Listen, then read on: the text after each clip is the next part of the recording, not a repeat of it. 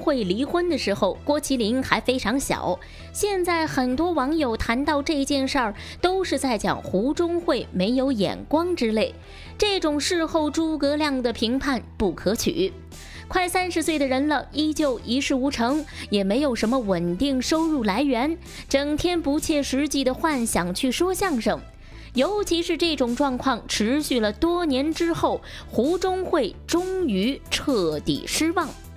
儿子留给了郭德纲，胡忠慧远赴日本，从刷盘子干起，后来自己做生意，积累了亿万身家，可见他也并非平庸之人。郭德纲没有任何能力照顾年幼的儿子，于是把郭麒麟放到父母家里养着。特别小的时候，他并没有跟我们生活在一起，啊，那会儿我也正是这个饥寒交迫的时候，照顾不过来。嗯，后来慢慢大了，才到北京来。他依旧去闯京城，希望闯出自己的一片天地。郭麒麟曾经讲过，小时候看到父亲会很害怕，因为一年见不了一面半面的。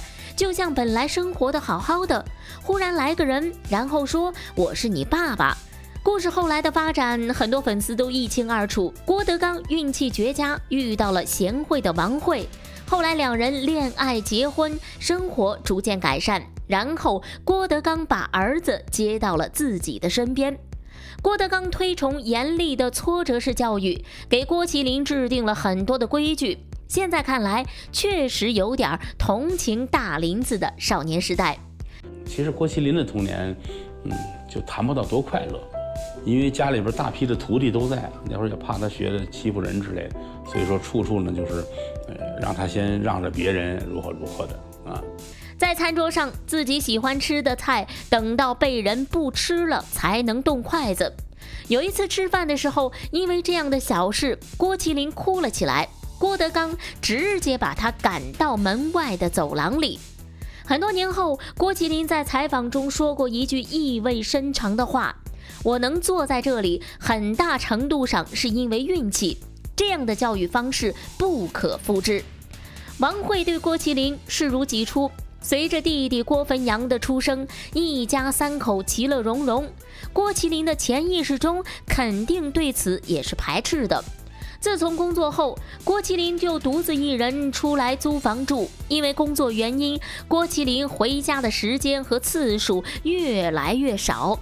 在节目中，甚至说出了三天两头老给我打电话，让我回家看看。为了能和儿子见面，好好聊聊，不惜利用公司的名义发通告。虽然郭麒麟内心里很排斥这样的通告。但是，身为德云社的一员，必须服从公司的安排。郭麒麟的潜意识中可能把自己当成了外人，尽管公众面前始终温文尔雅的大林子，在家里内心也有些酸楚吧。